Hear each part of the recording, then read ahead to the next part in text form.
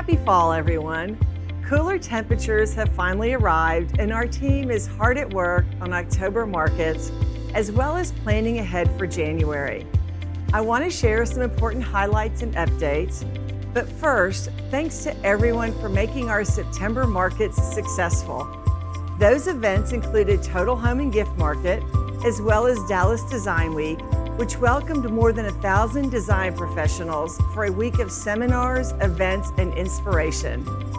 We also launched a new lighting show in the Trade Mart called Arc Light Summit, which included more than 60 lighting brands for commercial clients like architects and builders.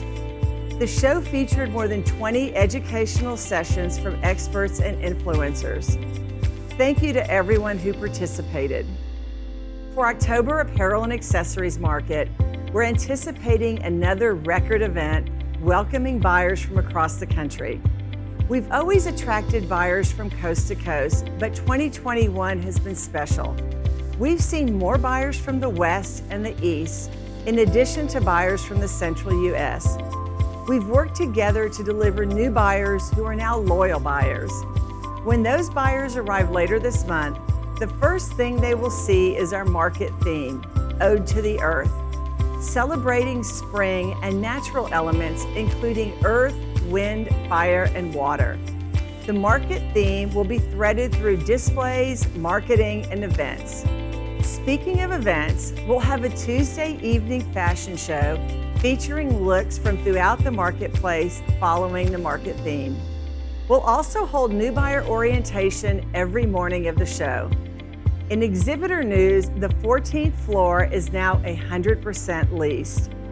Thank you to the Western and English companies committed to Dallas and delivering new buyers throughout the year.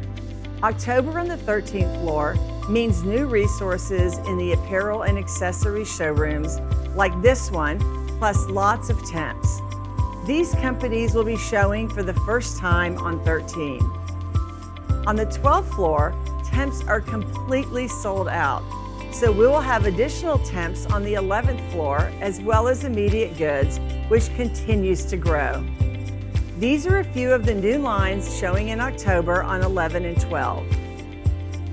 In buyer news, our new buyer applications have been up 50% and remain strong.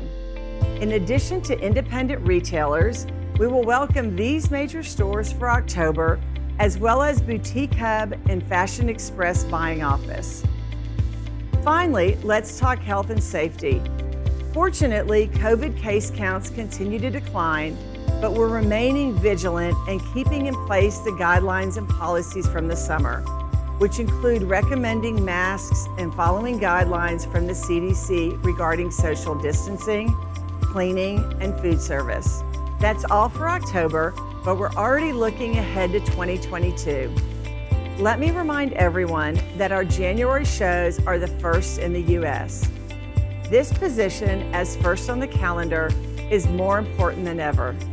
Buyers want to place orders first to keep up with demand and to be first in line for deliveries.